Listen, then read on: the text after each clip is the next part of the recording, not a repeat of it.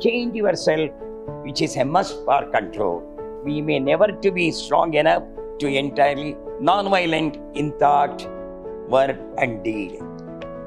ದೀಪವಾಗಿವಿರಿ ಬೆಳಕನ್ನು ನೀಡು ಮಾನವತೆಯಾಗಿ ಬದುಕು you must be human being says his A Jai Hind Gandhiji ಅಂತ ಹೇಳಿದ ತಕ್ಷಣ ಇತ್ತೀಚಿನ ದಿನಮಾನಸಗಳಲ್ಲಿ ಗಾಂಧಿ ಅಂತ ಹೇಳಿ ಹೆಸರು ಹೇಳಿದ್ರೆ ಅದನ್ನ ಅವಹೇಳನ ಮಾಡೋದೇ ಹೆಚ್ಚು. ಆದ್ರೆ ಒಬ್ಬ ರಾಷ್ಟ್ರ ನಾಯಕ ಅಂತ ಹೇಳಬೇಕಾದ್ರೆ ಆತನಲ್ಲಿ ಒಳಿತು, ಕೆಡುಕು ಎರಡೂ ಕೂಡ ಇರ್ಬೋದು. ಆದ್ರೆ ಯಾವುದು ಒಳಿತಾಗಿರುತ್ತೋ, ಯಾವುದು ನಮಗೆ ಹಿತವನ್ನ ನೀಡುತ್ತೋ ಅಂಥದ್ದನ್ನ ನಾವು ನೋಡಬೇಕೇ ಹೊರತು ಕೆಡುಕನ್ನೇ ನಾವು ಪರಿಪಾಲಿಸ್ತಾ ಹೋದ್ರೆ ಮುಂದಿನ ಪೀಳಿಗೆಗೆ ನಾವು ಹೇಳ್ಕೊಡೋದಾದ್ರೂ ಏನನ್ನ?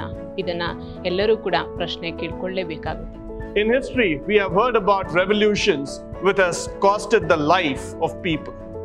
But this great personality, Mahatma Gandhi ji, taught us about a word called as non-violence.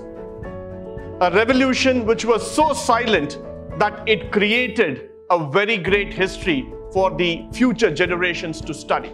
We have learnt about competition, but Gandhiji today has told us very clearly unless you develop the capacity, you will not have the competence to compete. So, this is the right time for us. Silently, we will develop the capacity so that tomorrow, when we win the competition, the sound will emerge automatically. The sound of victory will come from the capacity that you have developed. 200 years we fought with the Englishmen for gaining our freedom.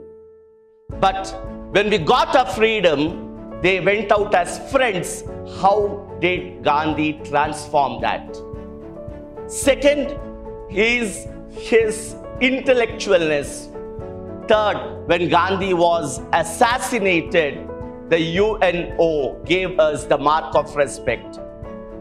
All these 152 years, have we followed Gandhi? Question ourselves. If not, we will move in that stream. We never use nuclear weapons to get freedom. We use non-violence. He is a person to be remembered. We will remember him. He is the Mahatma. Thank you all.